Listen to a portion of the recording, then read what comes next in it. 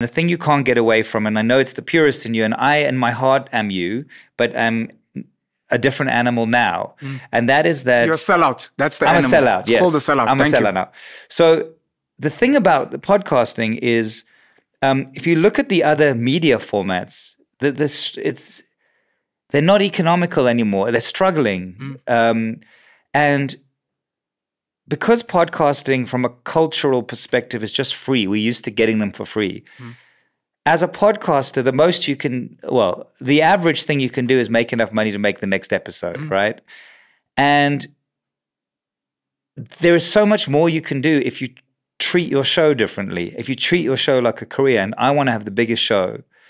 And why that is good is because, yes, am I beholden to brands? That's the real question. Now, if you were going to do a show on Netflix, if you know anyone who's worked with Netflix, it's a fucking pain in the ass, right?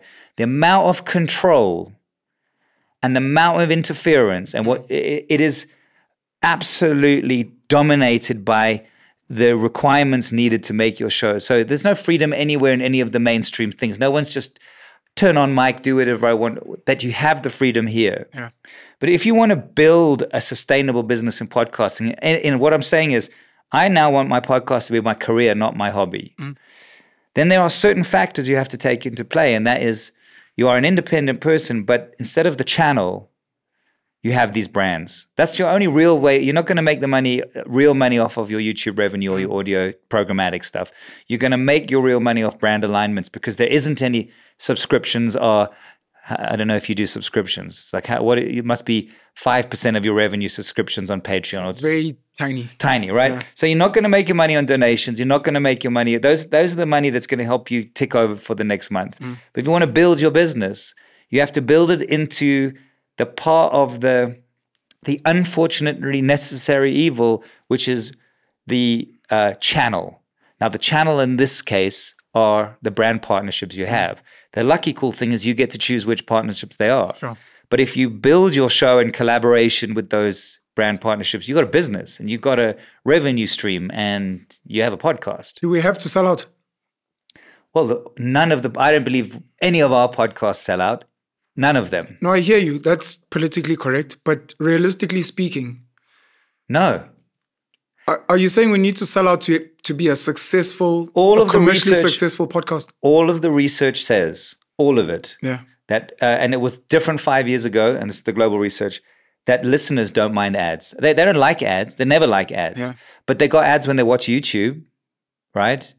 They're complaining, but they're still. Please, YouTube is shoving ads down people's. I was Yes, forced to, it's to take premium. It's too hectic. Yeah, me as well. It's too much now.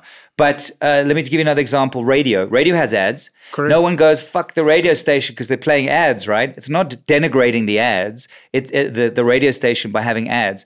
We, we some podcasters we because we still love the medium. We think oh these fucking ads, right? But it's it. The audience don't mind it as much as you think they are, and there's the programmatic ads that suck. Yeah. There's big they for us as podcasters is a big part of the revenue, but integrated ads where where where um um you know like a, a cool drink brand or whatever Yeah. can come in and you can say, look, um, I've tasted the new cherry cola and actually it's not bad. Yeah. And that's cool. And you sort of speak about it in your own words, and that uh, like that that's not interfering. And your your audience want you to succeed, and they know that that's a paid ad for you, and they're happy for you, right?